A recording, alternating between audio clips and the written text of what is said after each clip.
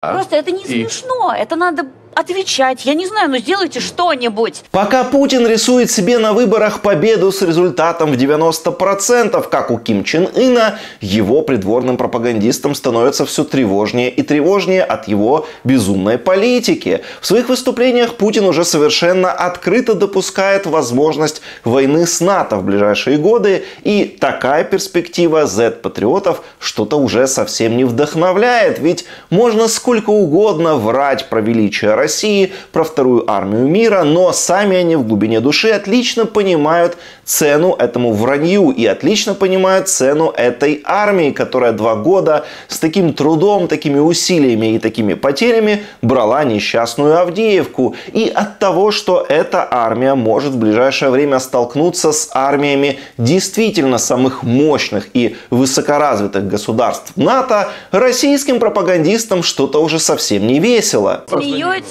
Макрон вам ха-ха, Шольц колбаса, один там ЛГБТ, у другого детей нет. Это все хихи-ха-ха, но самолеты-то летают, хаймерсы летают. Вы понимаете, это не смешно уже. Да, он живет не, с послушай, бабушкой, у послушай, этот подожди, колбаса, подожди, подожди, но я в подожди. 35 А как, как противоречит? Ведущая Первого канала уже просто сама не выдержала той дичи, которую несут ее коллеги. Стала возмущенно кричать, что высмеивать лидеров стран Запада это просто глупо, потому что они дают Украине реально эффективное оружие, которое реально работает и реально истребляет российских военных, и это, в общем-то, совсем не смешно. Видимо, конкретно эта ведущая все-таки помнит 2022 год, когда тоже вот так вот смеялись над Украиной, рассказывали про Киев за три дня, а потом что-то пошло не так. Да, это не смешно. Понятно, если, Он если, же ну подожди, упоротый, он подожди, идейный, конечно упоротый. Войска скоро будут Не, подожди, вводить, а мы ну все подожди, будем хихикать ну подожди, никто не хихикает. Просто Наши ми- дети будут умирать. Ой, Макрон будет вводить войска, наши мальчики будут погибать. Ну, слушайте, если вы так переживаете, у меня есть для вас один очень действенный и эффективный рецепт, как сделать так, чтобы ваши мальчики не погибали. Вам достаточно просто оставить Украину в покое. Просто выметаетесь из Украины, это же очевидно. Выводите свои войска с территории чужого государства, тогда, соответственно, никто и не будет погибать. А? Просто это не И? смешно. Это надо отвечать. Я не знаю, но сделайте что-нибудь. Ой, уже не смешно. А что ж случилось? Она что, не верит Путину, что спецоперация идет по плану? Ну серьезно, я не пойму. Вы же так радовались нападению на Украину, а теперь какие-то истерики в эфирах. Что-то не смешно уже им. Это враг обращаешься. сильный. И ничего он не гниет, и ничего он не Гниет, рушится. Гниет, рушится. гниет, да. Я вот поддержу. И поэтому так защищается. А Они нас процессы происходят. Ты хочешь, э, так сказать, да, чего?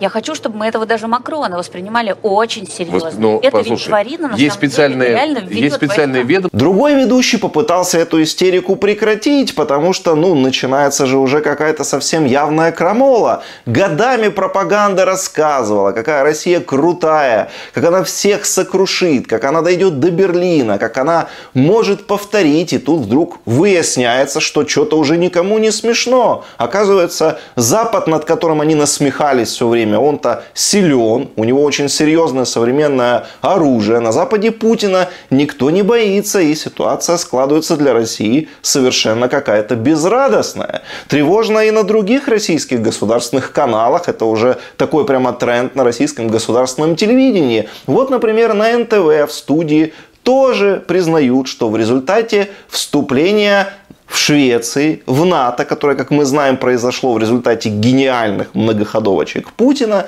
Балтийское море оказывается фактически заблокированным для России, и это создает реальные трудности и реальные риски для Калининградской области. Они нам будут перекрывать а, акваторию доступа к нашим портам. Они сейчас последовательно будут блокировать Калининград, делать это точкой размена с нами, завязывать этот узел там и говорить о том, русские Калининград заблокирован, Хорошо, а захватят, какой тут может или быть? что-то там А отступите. какой тут может быть размен?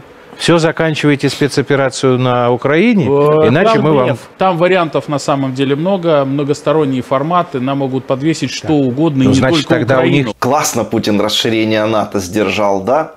Гениальный геополитик. И как он на выборах только 88% получил? За такие гениальные многоходовочки там все 99% должны были быть. До 2022 года ни Финляндия, ни Швеция даже не помышляли ни о каком вступлении в НАТО. Это были нейтральные государства, причем Швеция вообще почти 200 лет с 19 века сохраняла нейтралитет, но Путин добился, Путин загнал их в НАТО. До 2022 года у России вообще не было никаких проблем с передвижением по Балтийскому морю. Было свободное судоходство, свободное авиасообщение, они строили даже газопровод. В результате Путин теперь имеет, значит, руины Маринки, Авдеевки, Солидара, Бахмута. Ну, своей земли мало, да. Захватил еще разрушенные, абсолютно уничтоженные украинские города без людей. Зато разрушил все, что создавалось годами. Всю систему, все эти трубопроводы теперь взорваны, да. У России заблокировано Балтийское море, газопроводов нет.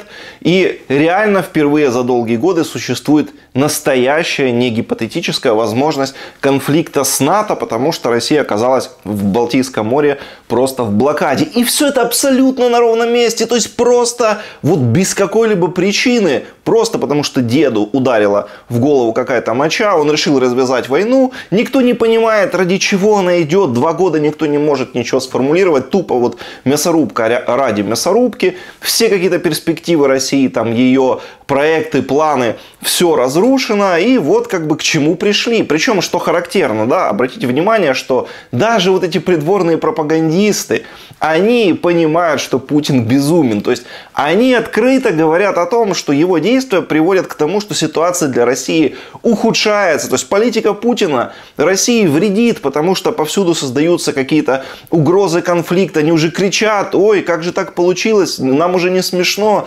сделайте что-то. То есть они понимают, что происходит. Но понимая это, они абсолютно не пытаются протестовать против происходящего, не пытаются высказывать какое-то несогласие, а продолжают спокойно наблюдать за тем, как Путин лишает всяких перспектив и всякого будущего их самих, их детей и их страну. Подписывайтесь на канал, друзья.